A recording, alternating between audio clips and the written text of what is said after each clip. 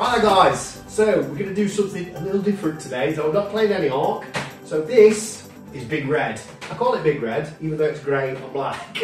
Uh, right then, so due to your kind generosity and for all your donations and everything, I've been able to buy this array of parts. Uh, we'll go through them a little bit later of what we've got, but I've just basically just set it out for a little display. So right, so we'll do a little introduction. So this is a big red, as I call it, because it's AMD. Right, so we've got, it's a X570. Uh, we've got a 390X and a 32 gig Trident Neo memory and uh, two 1080 Ti's. Right then, so we've got a load of parts here. Um, water cooling. So this is my first attempt at water cooling. Well, I say first attempt, I've done it before.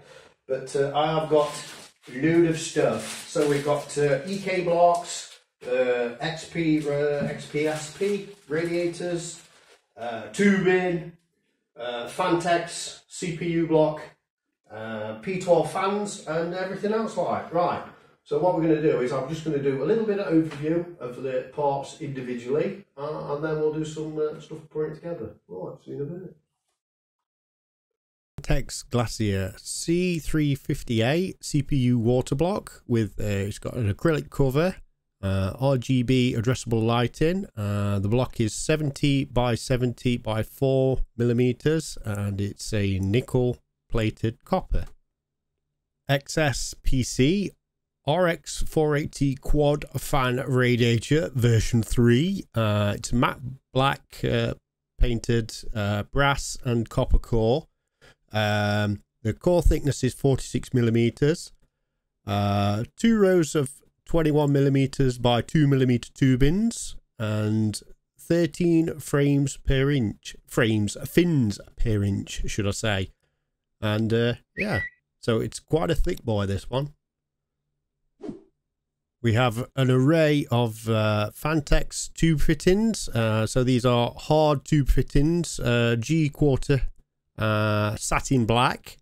Um, the various different types. Um, there's uh, some angled and straight ones in there as well. Uh, various other things like temperature sensor, this tap, and a like little flow meter. And for my fan choice, I have gone for some Arctic P12 120 case fans. Now these are really really cheap for what they are. Uh, they're a 120 millimeter fan and they pressure optimized with a quiet motor. Uh, the fan speed is 1800 RPM.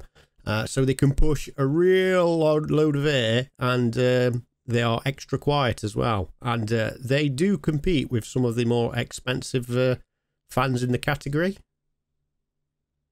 I've gone for PETG tube. Uh, it's a little more forgiving than acrylic. Uh, acrylic, when you cut it, is you've got to be very careful, and uh, especially when you bend it as well. Acrylic needs more heat.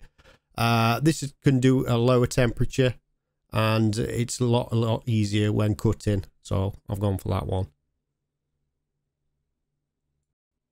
This is the EK Quantum Kinetic FLT 360. So this is the the biggest the one that they do in the range.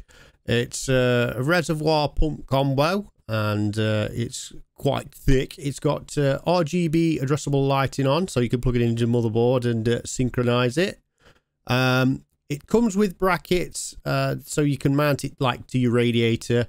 Uh, but I purchased some extra brackets so I can mount it like sort of straight up on its side. Last but not least is just the water fluid. So this is uh, Mayhems, uh, it's just clear. Maybe I should watch a tutorial on how to do this. Hmm. You can build a gaming desktop for around a $1,000, but I want to go all out, so I spent around 2000 PC like this is going to be able to play most games at ultra settings, so what do you need to build a desktop? Well, of course, first you need a table.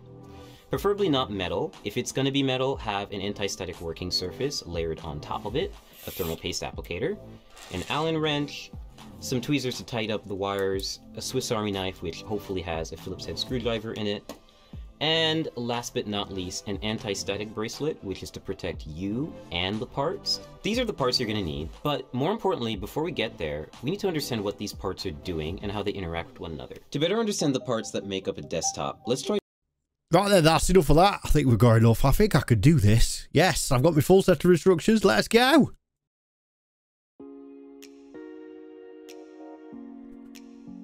Right then, so we just need to uh, remove all the old parts first. So we won't be needing that.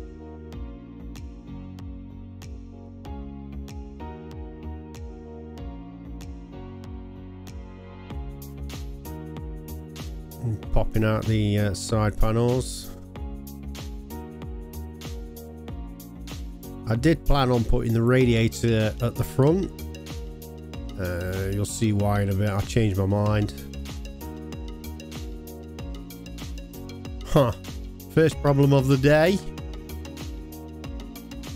Problem solved.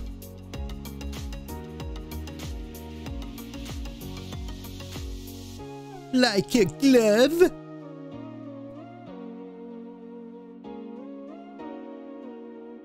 Uh, put another one at the bottom. That's the drain port. So I've got the filling at the top and the drain port at the bottom.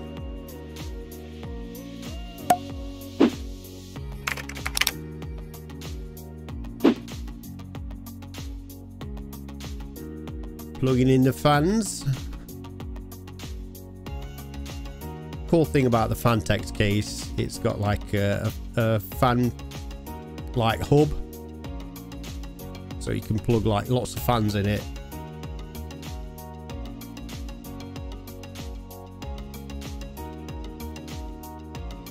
There we go, a little bit fiddly.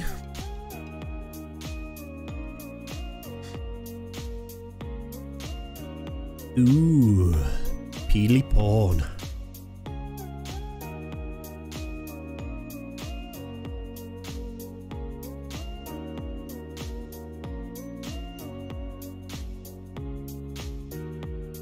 I went for the full line and some blobs.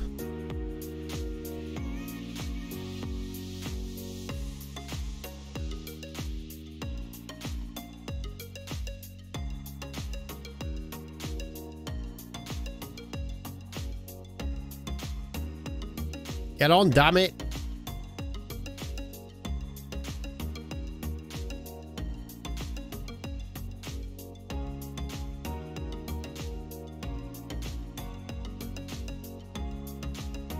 Hard tube bending.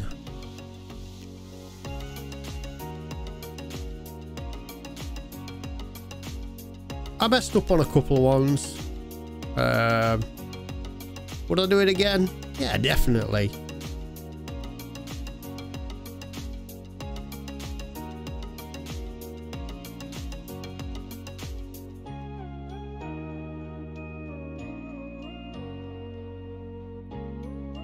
Spinning it all the time, getting even heat. Oh, you just start to feel it go pliable.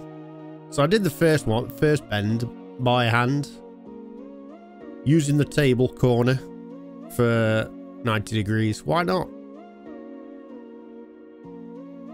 Just a little check fit. Wrong port, Jim. Damn it.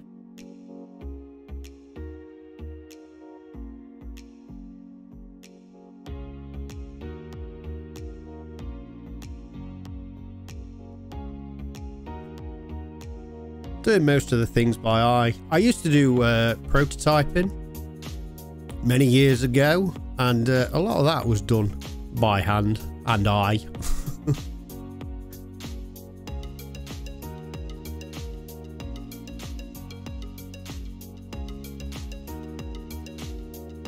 this time I used a mandrel. It's basically like a little uh, former, so you can squeeze the tube in and get a little bit of a tighter bend.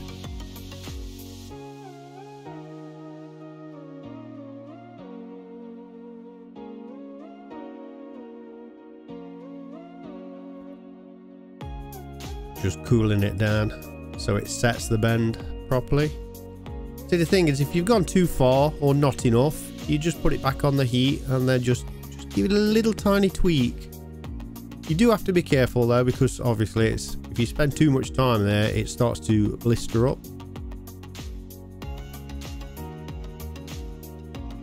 One more bend. And then that's my first section of the loop done.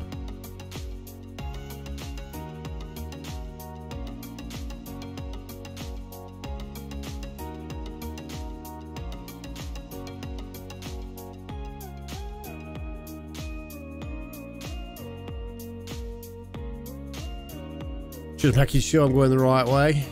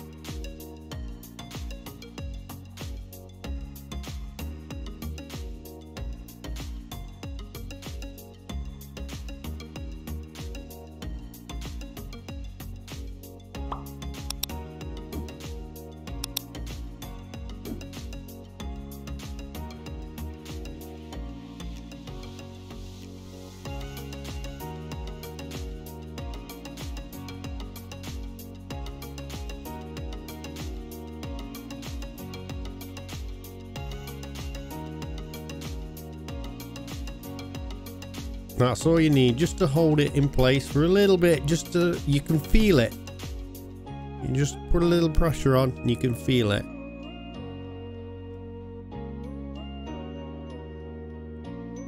So this is the first section of the loop actually going on. Just putting the fittings on.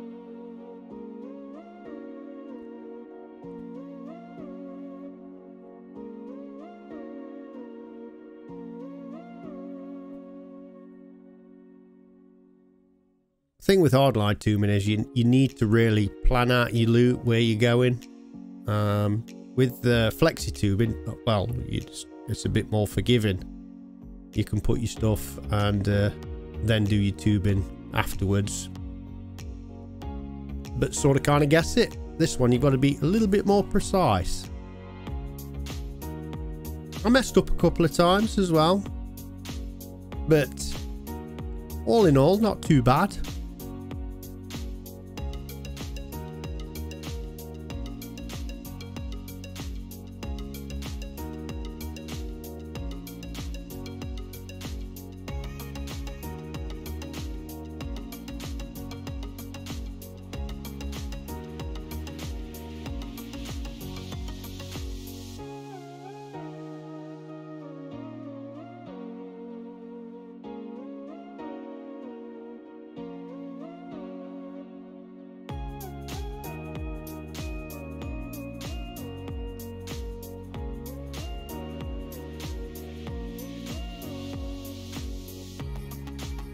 It's quite surprising that uh, you can still mess about with the, the fittings and that, and they, they don't leak.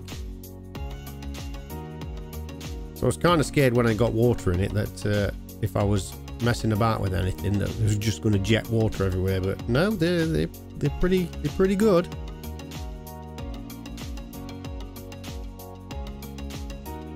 There we go.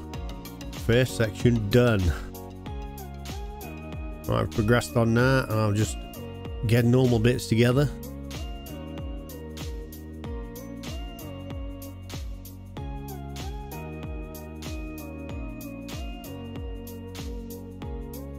We did have a bit of an issue. Uh, there was something that was uh, leaking. Right, this is the first fill.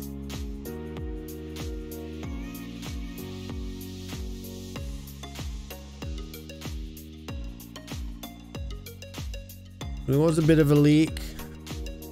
So we had to sort that out. It didn't take too long.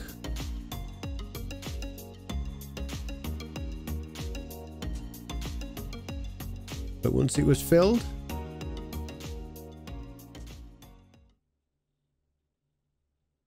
she be alive. and oh so pretty.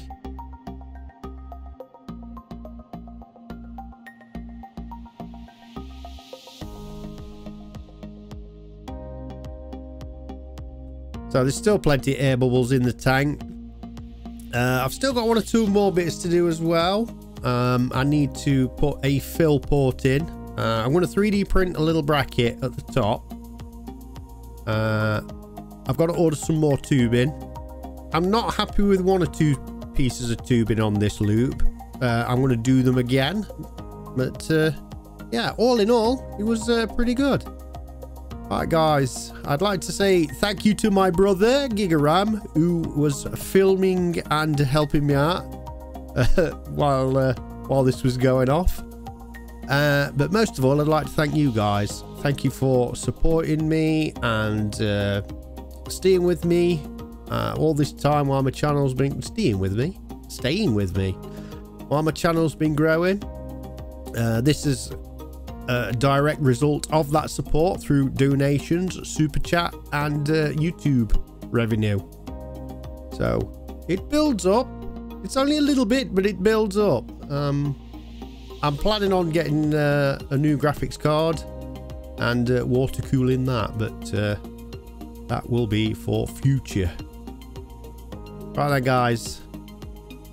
Don't forget to uh, whack a like on it, comment, and subscribe. And here's to the next 20k. Cheers, guys.